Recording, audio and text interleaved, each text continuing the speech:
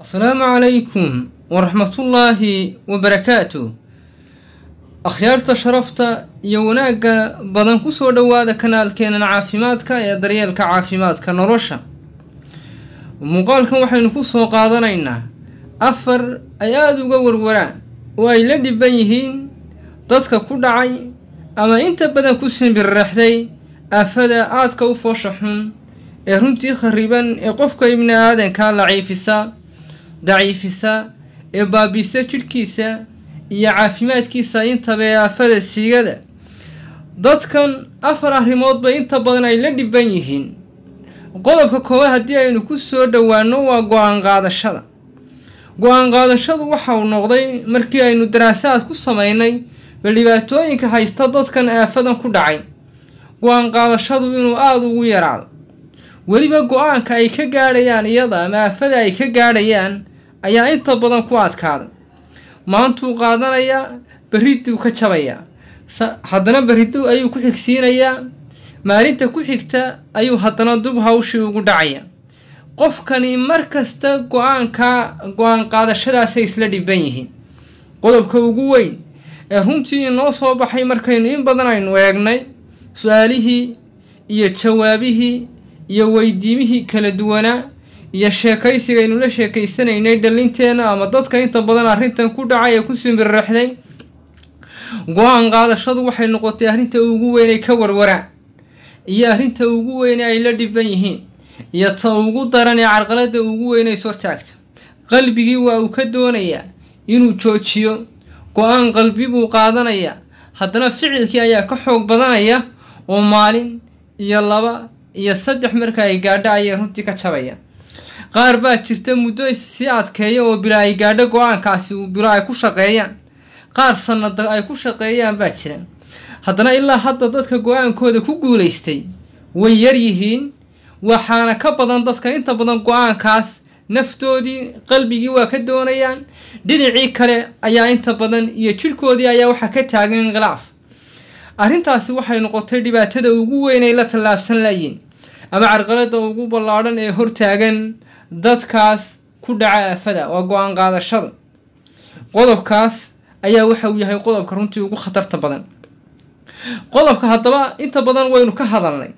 Qaabad ayaa jira kaa caawinaya. Go'aan markaad qaadato waa inaad dabeecadaada bedeshaa fadhigaaga bedeshaa qaab dhismeedkaaga bedeshaa jadwalkaaga aada bedeshaa markaasuu go'aanku inta badan uu kuu hirgelaya laakiin go'aan ubaan qaadanaya oo wax allaale iyo wixii aan ku samayn jiray ii saamixi jirayna waa ku jiraya go'aanku waa adkaanaya markaa go'aanka fadlan isku daya markaad qaadanaysaan inaad bedesho naftaada reinform ku same dibu bedelis ku same akhyaarta iska bedel fadhiga iska bedel waxaad la hadli jirtay iska bedel haddaad haween la sheekaysan jirtay iska bedel goobaha cibaadada kaag dhowow dad wanaagsan oo saalixiina oo fadhigoodu qurux badan yahay raadso dadkaas jadwalka naftaada mashquuli. Go'aanka inta badan markaad qaadanayso waa arrimo badan baa ku hareeraysan. Arrimahaas ayaa kaa caawinaya go'aankaagu inuu hirgalo ama uu guulaysto. Qodobka koowaad ee dabcan iyo qodobka labaad ee ay la cadilan yihiin ama dhibaatada ugu weyne inta badan ay ka naxaan ama ay ka warwaraan waxaa ka mida dadabgalka dadabgalku waa guurka. Inay guursadaan bay aada ula dhiban yihiin dadkani inta badan waxay ka baqayaan inay fashil dhaco inay ku guuldarraystaan inay ceebi raacdo inay dhibaata ku timaado marka ay guursadaan. Arrintaas ayaa iyaduna waxay timaataa in ay arrintani ay ku dhacdo. Guurkii dhammaayee loo baahnaa ninku inuu ku farxo. Guurkii noloshiisaba uu sugaayey. Guurkii mabsuudka iyo farxadda loo baahnaa inuu siiyo. Guurkii la doonayo inuu ku taamo guurkii loo baahnaa maalinta uu soo gaadho ama uu weynaado farxadaha ugu waaweyn ee noloshiisa adduunyada ku soo maro inuu noqdo ayaa naxdin ku noqday. Waa isqabaa kadib xaggii kale wax isku bedeleenba wixiiba waa isgalan bedeleen adduunyada marka qofku waxa fiican ka tago wixii wanaagsanaa ayaaba waxun isku bedelaya guurkii dhammaayee qiimahaa lahaa ee qofkaba ilaahay u abuuray ee loo baahnaa inuu ku nasto oo ku nafaxaado oo ku quruxaysto oo uu ku dego oo farxadaha ugu waaweyn qofka soo mara ayuu ka baqanaya. Wuxuu ku odhanayaa guurka laftiisa ayaaban ka baqanaya anigu inaan guursado. Markaas waa dareemi kartaa xillima ayuu guursanayaa xillimuu farxaddii helayaa? Waktiba ayay ku dhacaysaa waxa keenayana inta badan guurka marka la galo waxaa loo baahan yahay qofku inuu sahay wato. Sahay.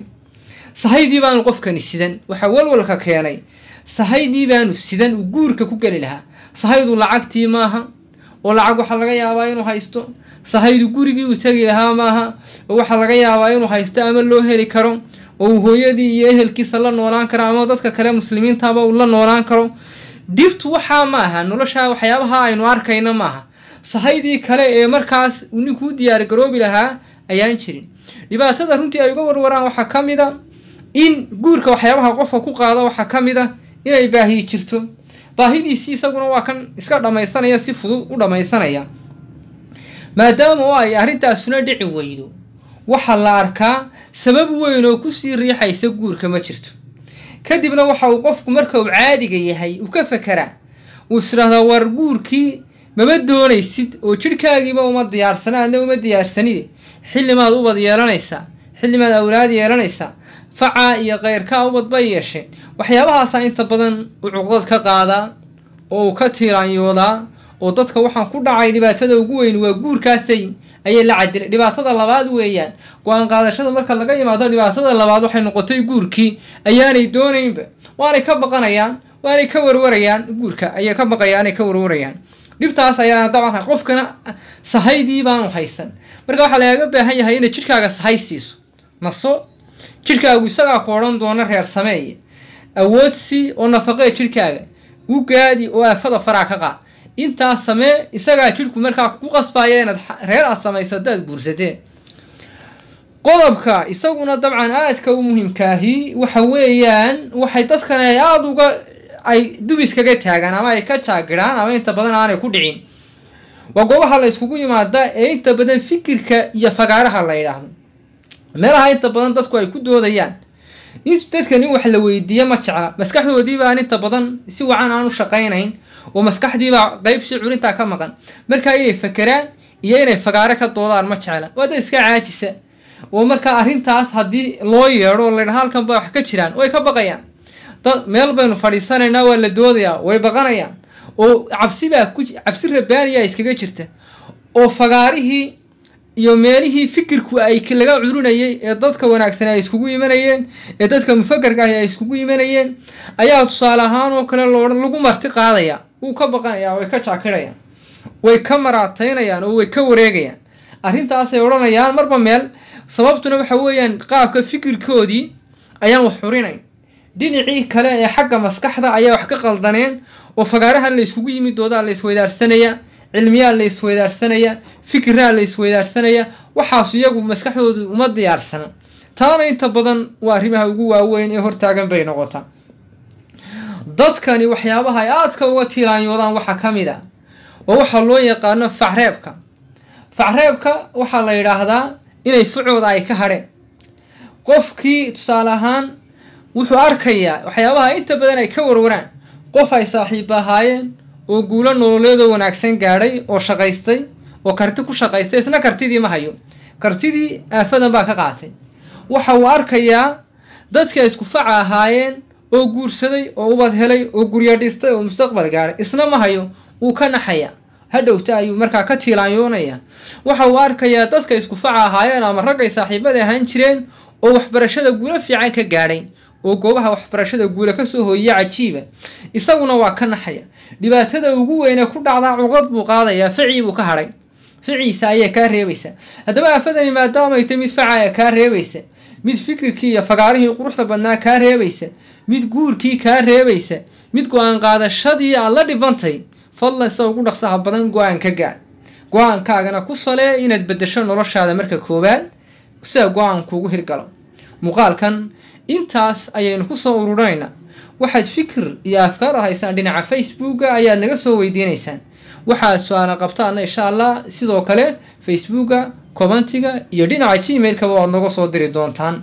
Intaas ayaynu runtii kaga baxaynaa hawada oo aynu isku macasalaamaynaynaa fi amaan illah. Wasalaamu calaykum waraxmatullaahi wabarakaatu